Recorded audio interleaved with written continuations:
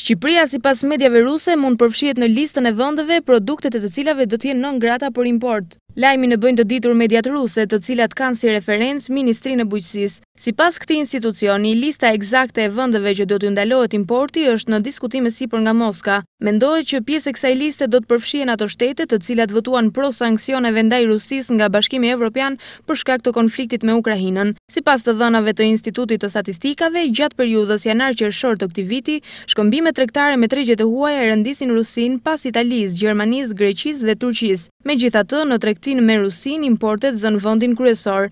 Gjatë këtij gjashtëmujori vendi ynë ka eksportuar njëzet e pesë milionë lekë, ndërkohë që ka importuar dyzet e tetë miliardë lekë. Pjesë e listës së zezë, veç Shqipërisë, është edhe Maqedonia, Norvegjia, Litenshtajni, Ukraina, Islanda dhe Gjeorgjia.